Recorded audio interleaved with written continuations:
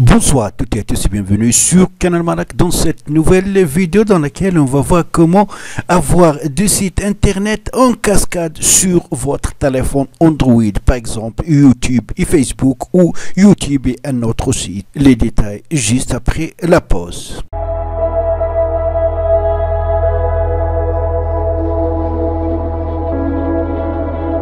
Alors pour cela, premièrement, on doit aller sur Play Store pour installer une application gratuite dite Splite Browser Trial. Voilà, donc le premier, donc il y a une version payante et une version gratuite. Nous, on va voir la version gratuite. Vous allez donc toucher gratuite et l'application ou le navigateur, normalement c'est un navigateur, sera installé sur votre appareil. Une fois installé, donc on va y accéder c'est très simple. Donc, euh, dès qu'on ouvre le navigateur, on trouve déjà ici la possibilité d'utiliser deux sites. Le premier site ici et le deuxième site ici. Donc, vous pouvez avoir ici YouTube, ici Facebook ou ici un autre site, ici un autre site. On a ici YouTube, on est ici sur YouTube.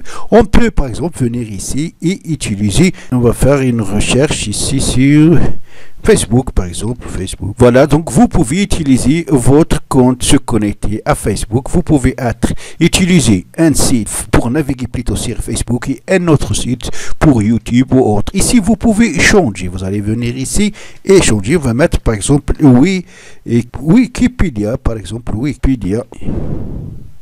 Et voilà.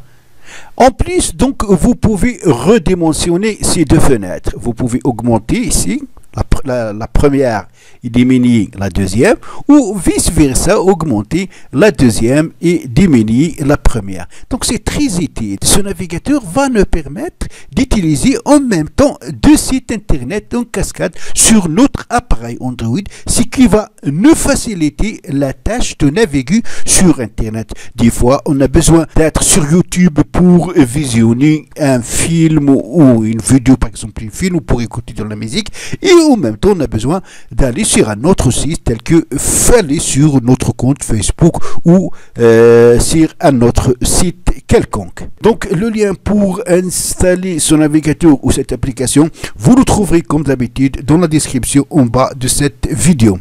Donc c'est tout pour la vidéo d'aujourd'hui. Merci de l'avoir suivi.